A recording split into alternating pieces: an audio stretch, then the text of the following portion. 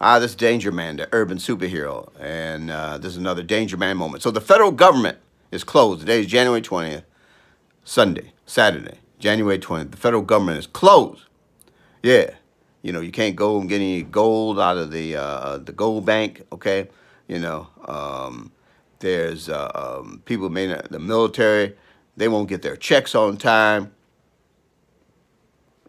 There's uh, uh, a lot of problems associated with this, but what the heck is going on?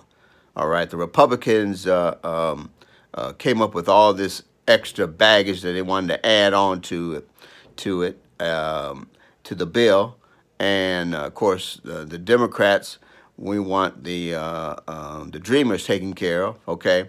And uh, the Republicans are talking about, well, you, you know, that's no rush on that. You can do that in March okay? But then we have to go back over again with this whole thing. So let's do it now.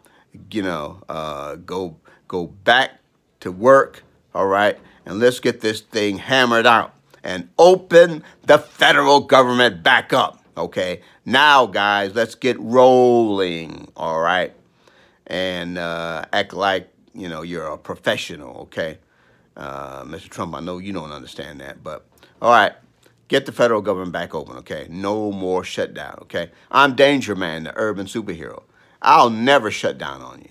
This is another Danger Man moment. You guys take care. Sweet. Love you guys. Peace.